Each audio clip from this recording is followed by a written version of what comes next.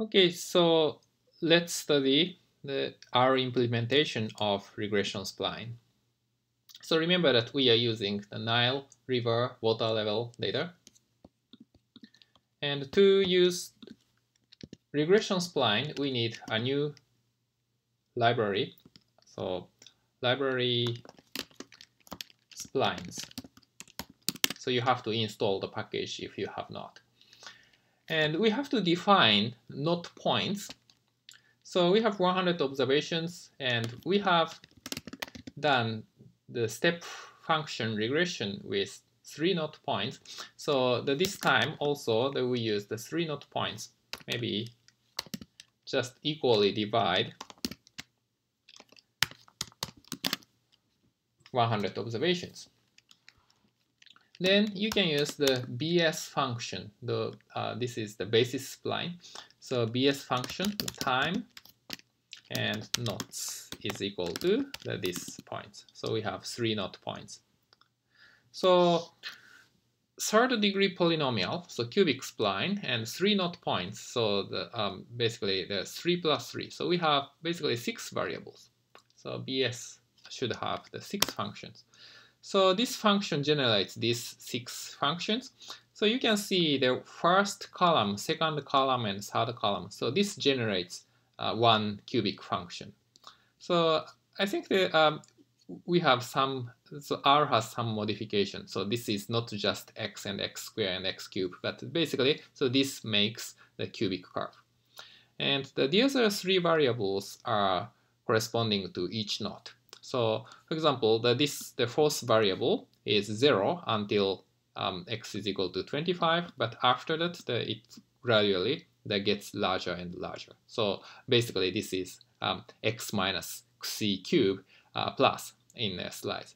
And the fifth variable is 0 until x is equal to 50, and after that it gets larger, actually the, at 51. And the last one, it's 0 until um, 76 observation, and after that it gets larger.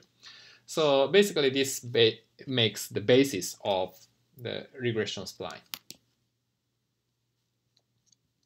So another way to describe the basis function is just specifying degrees of freedom. So time and df6. So um, we have six variables in this above, but the, if we just say df6, the are automatically the sets six variables.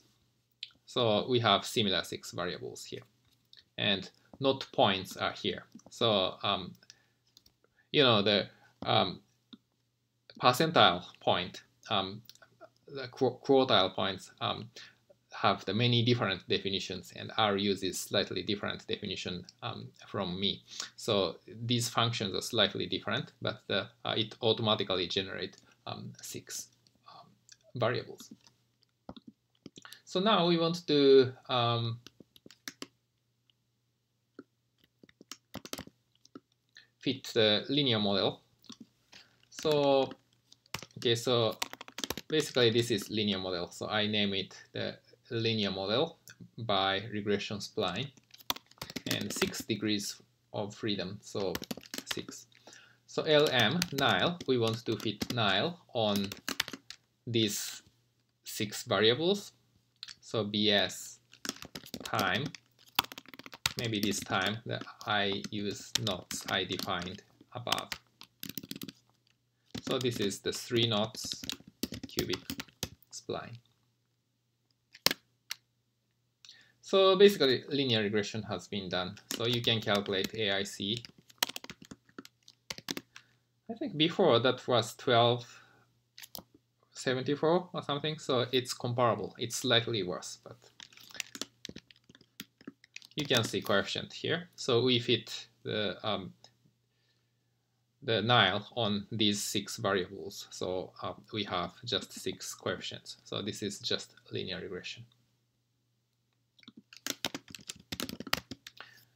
So now we can just describe the curve, but the, um, here we use the predict function to get the confidence interval um, for this curve. So we want to get standard error and the prediction curves, uh, the confidence curve. So um, yeah, so now we want to fit, we want to overlay the graph over this. So maybe we want to erase this um, last one. So um, okay, so plot time Nile. Then we get this, and we want to overlay this the fitted curve. So we can use lines function and time fitted LRS6. Then you can get this. So um, this curve isn't bad. It fits well to the data. But the, maybe uh, uh, we have concern about maybe this right end point. Okay, so it fits well for the data. But if we extrapolate until 1980, probably this curve is not plausible. So uh, this is very the sharp decline, but the, this is just to fit maybe the last three observations. So the cubic spline have some problem on the um, right hand side or left hand side. In the middle, it works pretty well. to see this, maybe we can uh, add confidence uh, prediction, uh, the confidence band lines time and predicted. So this is the same as the uh, fitted L LRS6, but also that we can add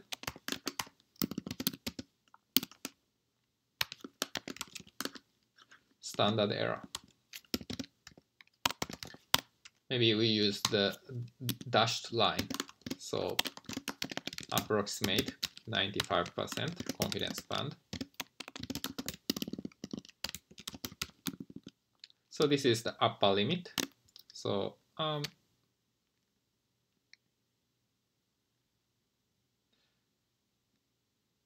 so what's wrong? The time and predict fit plus two times standard error, that is 95%.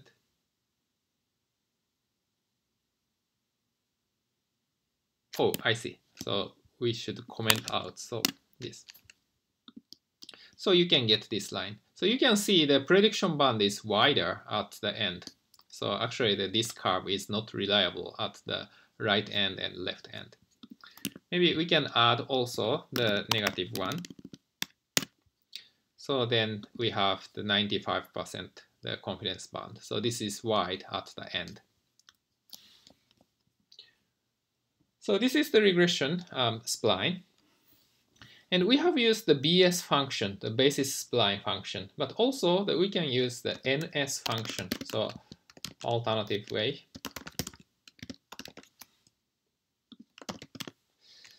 So NS function of time with df6, then we can get almost the same functions. So, but just that these functions have the different basis and a different way um, to uh, generate six functions. So it uses so-called the QL decomposition.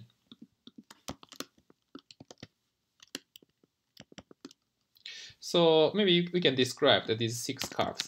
So plot the one 100. So just 100 time points. So I use 1 to 100, whatever is fine and the df6 and we take the first column, so the first vector, and we describe the line. And actually this ranges from negative 0.4 to 0.7, so I just uh, um, put this range. Okay.